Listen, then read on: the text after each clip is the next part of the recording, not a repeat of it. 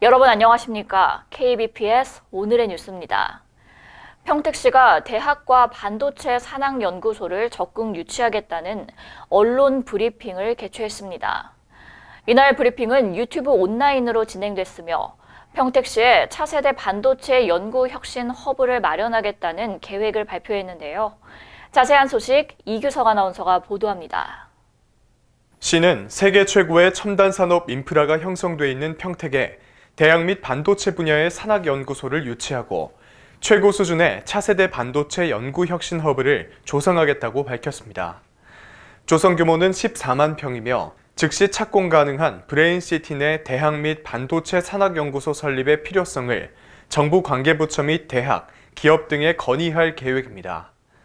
시는 이번 사업 유치를 통해 첨단 산업 발전 및 창업을 촉진하고 일자리를 창출해 평택시 및 국가 경제 성장의 견인 역할을 할 것으로 기대하고 있습니다.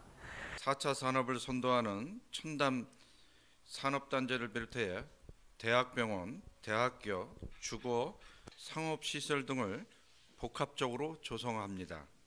평택시는 이미 약 188조 원 규모의 반도체 생산단지를 가동 중이며 특히 조성 예정인 146만 평 규모의 브레인시티 일반 산업단지는 수도권에서 유일하게 대학교 신설 가능 부지를 보유한 산단으로 평가받고 있습니다. KBPS 이규석입니다.